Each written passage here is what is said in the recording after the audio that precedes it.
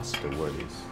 Getting lost when you go to places. When you travel, and sometimes people, I want to go and see the Eiffel Tower, I want to see the Beijing uh, Opera House. You know, I, I don't have those kind of, uh, uh, kind of plan. Look at my kitchen right now. I have uh, Amy from Korea, Paulo from Brazil, Brenda from China, and my chef uh, Jonas from the Philippines. He's, he's, he's Canadian born, but your background is Taiwanese, right? Nania, Lao Jia Nania. Hakka. You see, Hakka, you know, uh, they call them um, the moment of Chinese. They travel everywhere, the Hakka. They know everything. And of course, uh, we have York from Germany. And then we have Mohammed, and he's from uh, Bangladesh. You see, the, the whole world is right here. First, I like to figure out where is a great area to eat food. Then I'm going to figure out, I'm going to get lost from there.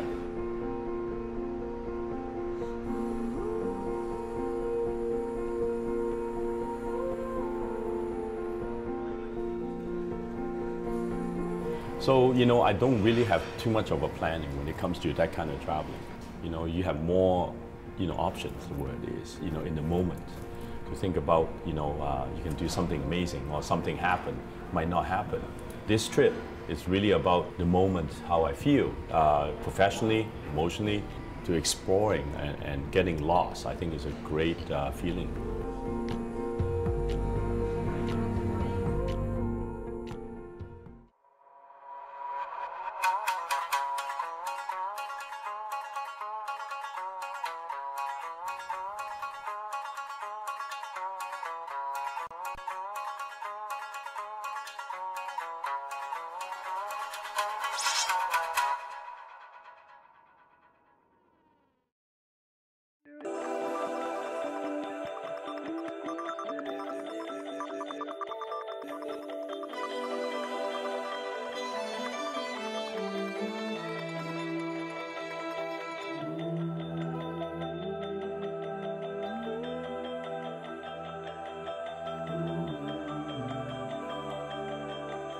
Japanese breakfast is so complete. You know, it's full of protein, mostly seafood, and also pickled vegetable, and also soup, rice, of course, it's part of the diet in the morning.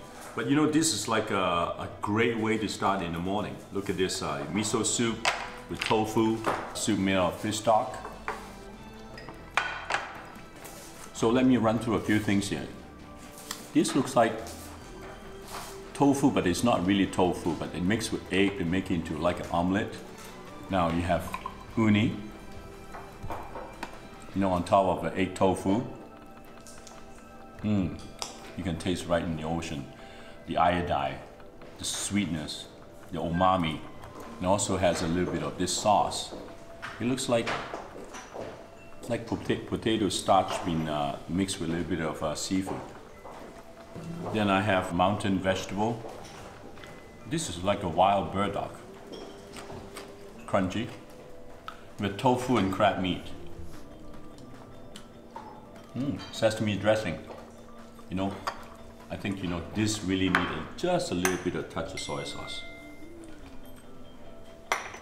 You see this, uh, you see the color is so beautiful. So when you hit a little bit of soy sauce, you give a little bit of that you know, saltiness. Mm, this tofu is really good, very soft.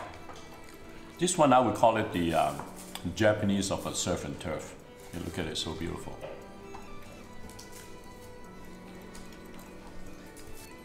It's wild vegetable, definitely. When they're so small, they're delicate, lots of flavor. And also this tiny, tiny little, uh, little fish Let's go into salmon.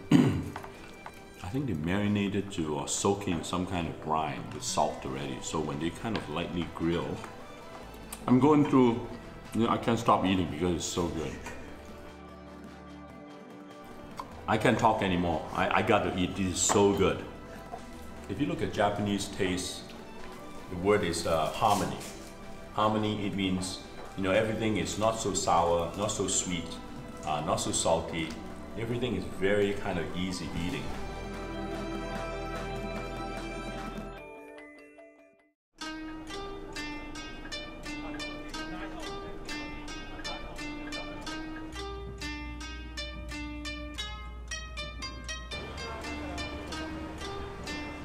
Where is that old guy?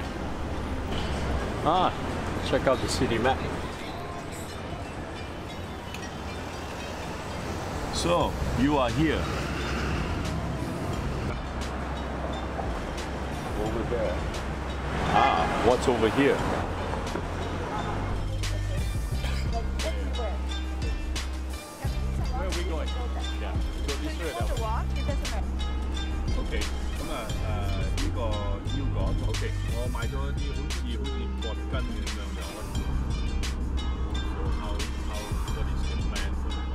friend of mine, well, we are colleagues, uh, you know, I'm talking about 19 years ago. Uh, when I opened uh, Chinois, he was my chef. And uh, that was in Singapore. So now I'm going to visit him, you know, uh, all these years. I see him once in a while in Singapore. He's a great chef. 师傅，意思今日包你好，你好，你好，你好。好吗？好。Chef and I, 19 years ago, work at Club Chinois 20 together. Huh? Oh my God, it's 22 years ago, actually. One nine nine five。we start work on the menu. He's he's the best chopper in my books in the world. He's the best cutter. Chef, let's go in the Number kitchen. one。Let's go in the kitchen. OK OK OK。This setup is actually is very much like Club Chinois when we were working together 22 years ago.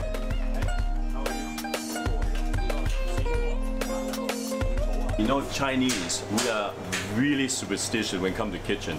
Now, this is what we call the feng shui area. You know what that means? Every welcoming the guest while steam is coming up. More customer. More money. More money. More happy。I really enjoy working with him uh, when I was in Singapore 22 years ago, because that was the time.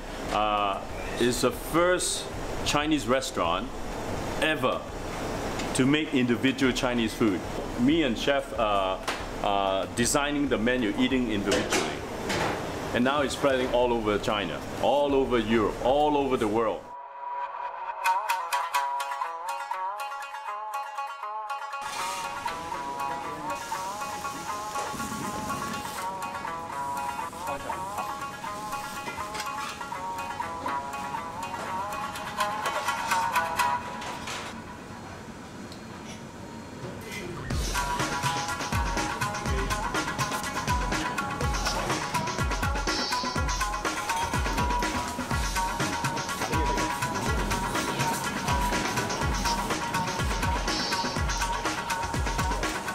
Albert's Kitchen. You know, it's like feels like the old good good old days. You know, when we used to, uh, you know, making a dish. We try different way.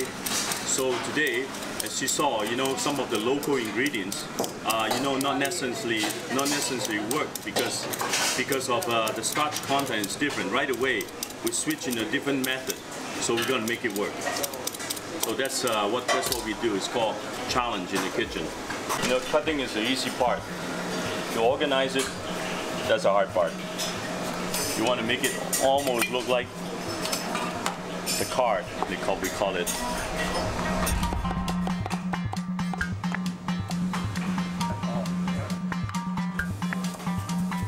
You know, coming to his kitchen, you know, in his environment, you know, I love the professionalism.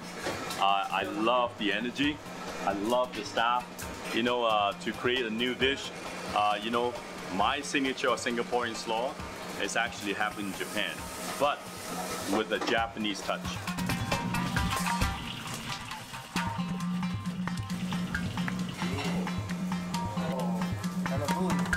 Uh...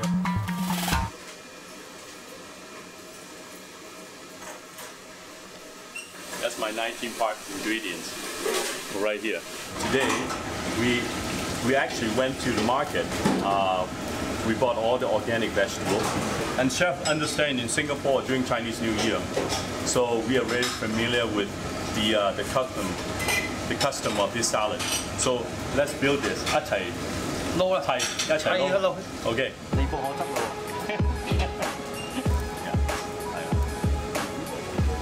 越高越好，the taller the better。 There are different kind of radishes and also uh, carrot 嘅嘅青菜啦，沙律菜 mizuna. If you look at the the house uh, in Japan, the ones they made out of hay, the one is almost like in Takayama when I was experienced in Japan. This is a house where they made out that hay, and that is almost that feeling uh, with the grass, with the hay, and building uh, the Japanese uh, style of housing.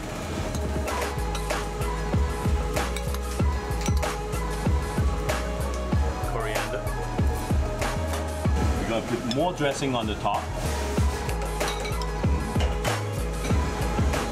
So make sure that when you toss it, you have enough dressing.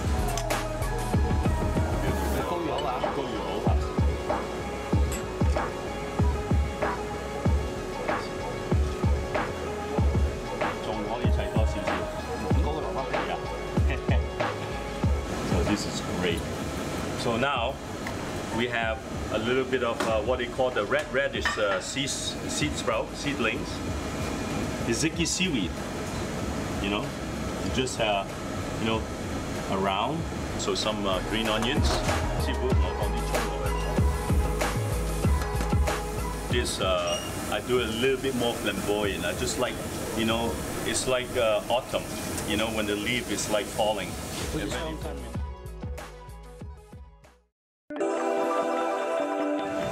You know, this is this is beautiful.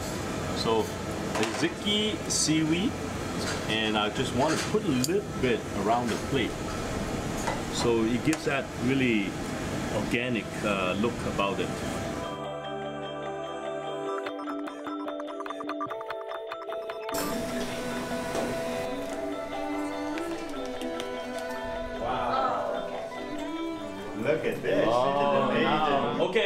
guys, you know, here we go. Singaporean slaw in Tokyo. So chef and I understand how to celebrate this dish because in Singapore during Chinese New Year, that's how we toss. Low 越 hey, 捞越起， low 起, you 风 see? 生水起， That's that's the that's the right 啊， way. 盘满盘满， See what he's 儿 saying. 孙满堂， You see all the saying that what he's talking 为个 about. 生意兴隆。生意兴隆，大家咪先啊身体健康。 哦，快高长大啲仔女，快啲接手。 You see, Noah, what uh, we are doing right now, we're saying all the very, uh, very nice word: prosperity, health, and also, uh, you know, make lots of money, of course. That's part of, uh, you know. See, 我哋捞起啦，嗯，嗯嗯，爽口， 脆口，脆口。It's like party in your mouth. That's how I describe it. Not bad, huh? Hmm. Really damn good. 多谢成兄，high five。 Thank you. 合多次，我哋合多次。 So we gotta try this.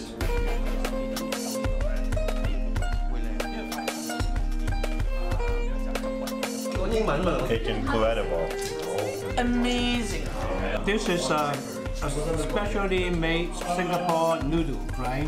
The first I've ever tasted, but it's great. When we were at Chinois, that was really the restaurant really make the revolution of uh, fusion in Chinese cooking. And during the time you were talking about 22 years ago, that's how we established, you know, be open-minded uh, uh, to to to with with tradition, but at the same time do a twist. And that's why he is so successful coming to Japan, because his mind is so open that he can actually survive being a Chinese chef, can actually let Japanese understand his cooking and also adapt it to the local ingredients and his techniques and his food. And I think this is very special. Today, eating his food, you know, I can see the, uh, the journey had, that he had because his food is precise, and also very local, cook in season, and at the same time, that word is a very great harmony, which is in Japanese cooking. Not overly too sweet, not overly sour, not overly too spicy. So you know, you know, the journey is so great. Uh, he is really, uh, you know, one of the master can really kind of, uh, you know, changing some of the uh, tradition to adapt, uh, you know, to where he is. You know, sitting down after lunch, uh, we can talk about food for a few hours. 我哋坐喺个黑色嘅 sofa 嗰度喺新马。你坐咗好多年啦， We've been sitting in that booth for so many years. 好似坐到而家咁样。 Again, we're back to this. 未起身 Talk 过 about food, culture, changes, fusion. So awesome.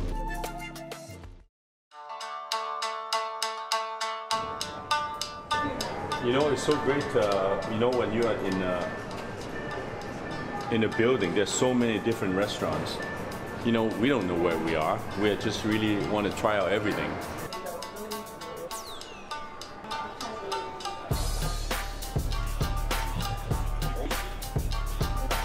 Yeah, one. Yeah, just just one. Yeah. I, I like to you know to experience the word is while I'm here, especially when you have mochi when it's fresh. It tastes so different, you know. They're they're more stickier, they're more al dente. The rice flavor is there. That- that's why I'm here. You see, this is uh, you know what this says. Uh, this is only in season. Oh, this is the same earlier. We, ah, yuzu. I see. Red bean mochi. Okay, A very nice texture because the mochi was very soft, and also the red bean is uh, sweet. I find it a bit too sweet for me, but the lingering part was very good. The yuzu. I like jellies. I have to say. When- I was a kid, my mom used to make jelly.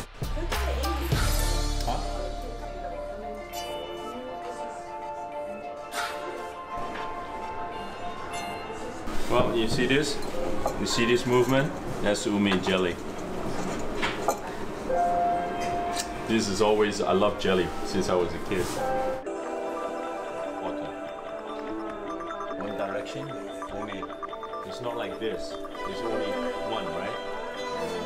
Well, I think it create the, ah, you see? It create the lightness and also uh, almost like the, uh, the texture, you know, You see, you know, drinking tea with a bowl, the best thing is because of the nose, it sticks. It's, it's like having, um, you know, drinking cognac in one of those big cognac glass.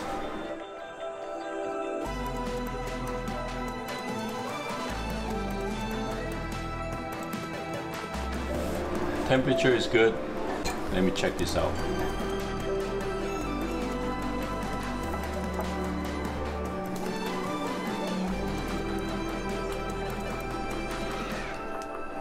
Oh, I can taste the, uh, you know, the pit of the uh, the ume, a little bitter. The bitterness tastes quite nice actually. What is this? Honey? honey, Is it honey? um, matcha green tea sauce. A green tea sauce. Mocha green tea syrup. You see, you know, uh, it's so different. You know, once this thing, you know, when you're packaging, shipping to another country is not the same while it's fresh. Sticky. Mmm. Texture al dente. You know, like eating mochi is all about the quality of the rice. You know, when you have uh, uh, when the quality of the rice, like making sake, if the rice is good, it means you got good sake. When the rice is really good, it means you get really good mochi.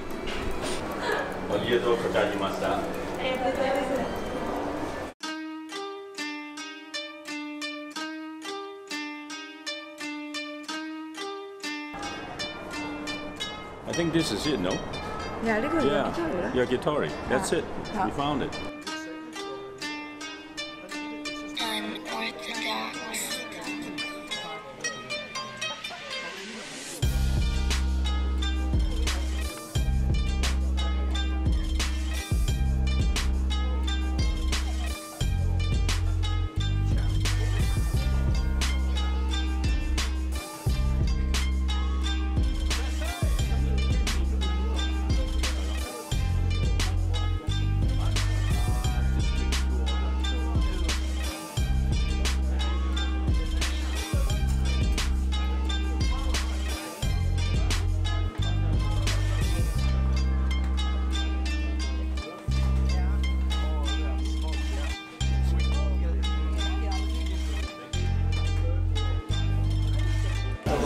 they just left one bone.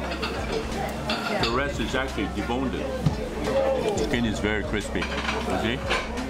Kind of salty, but nice marinade. Yakitori, you know, can make you drinks, you know. Can, can make you drink. You got salty. Wow, you got a pretty big chicken there right here. You see this? Ginkgo nuts. 金库系咪？ Mmm, I love this. Chinese yam. A Chinese yam. Thank you. You know what's really good? Make congee. Congee is good. And uh, when it's really fresh, this is uh, sort of like the youngest, uh, you know, ginkgo. Because when it's getting old, it gets very starchy. This one is very crunchy, you know. Mmm, I love it. I think I'm gonna order more.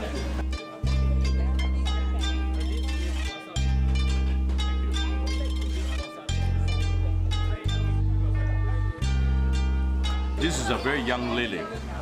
Before they actually turn yellow and open, when it's starting to open, it gets very, uh, I would say, not as sweet, but this one is sweet.